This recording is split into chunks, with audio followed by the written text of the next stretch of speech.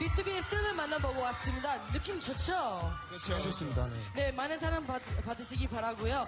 자, 네티즌 투표 방법 좀 알려드려야죠. 네, 하루에 세 번 네티즌 투표 참여하실 수 있고요. 자세한 사항은 지금 아래 화면 자막으로 나가고 있죠?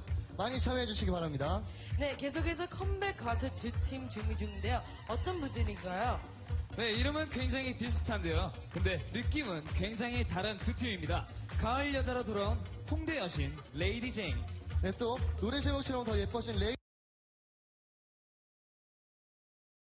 네, 예전에 저도 참 좋아했던 곡인데요. 이번에 레이디 제인이 리메이크를 했다고 합니다. 일기 만나 보시 초